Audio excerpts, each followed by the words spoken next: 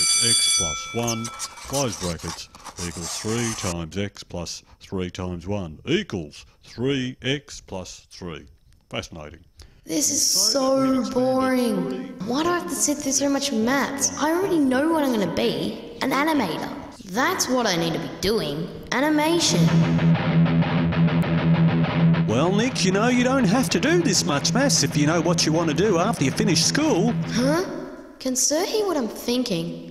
That's impossible. No, it's not. And yes, I can hear what you're thinking. And that's right. If you know what you want to pursue, then you should be able to tailor your schooling by choosing subjects or courses to build a program to suit your needs and passions.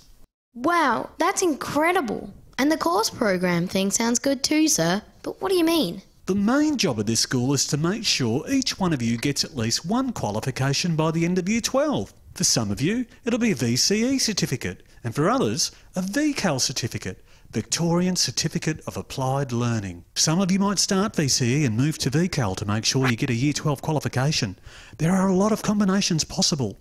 Others of you might end up with two or even three qualifications. Like the VCE, the VCAL is a recognised senior qualification.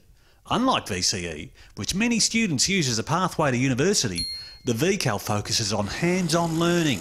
Students who do VCAL might go on to TAFE and then on to university to get their degree.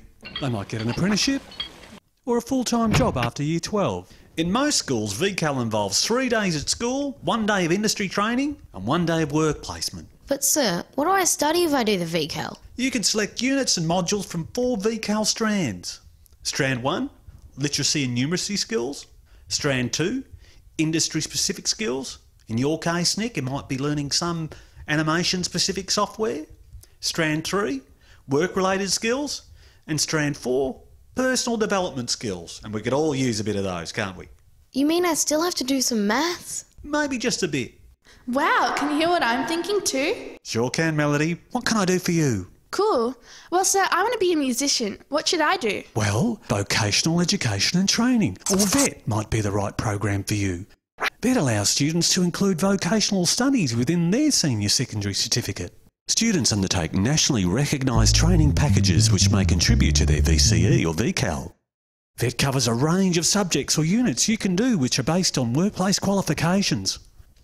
Automotive, building and construction, hairdressing, sports and recreation, or in your case, music.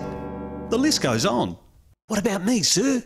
What about apprenticeships? I really want to be a mechanic. SBAT. School based apprenticeships and traineeships allow students over 15 years of age to work as paid part time trainees or apprentices while completing Year 10, VCE, or VCAL. School based apprenticeships include a VET component which counts towards VCE and VCAL.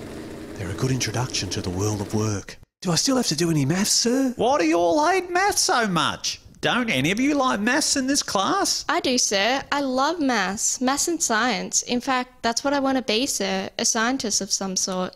Ah, Ling. Good for you. So it's VCE for you then. Yes, sir. Students can do VCE in years 11 and 12. Some do subjects or units in year 10. You can include VET subjects to build your program. For students who want to go to university, you may need to get an Australian Tertiary Admission Ranking, or ATAR. And Ling, you might want to have a look at VET laboratory skills, which can boost your score in science. How do we get into these programs, sir? What do we do? Well, firstly, talk to your parents. Then talk to your VCE coordinator, the VCAL coordinator, or your careers teacher. Attend parent information sessions, interviews, ask questions. It's your future. I hope that's helped clarify some of the concerns you may have had regarding your last few years in school and shown you some of the options you may not have been aware of. Right. Where were we? Ah, yes. Algebra. Open brackets B plus C plus D, close brackets equals.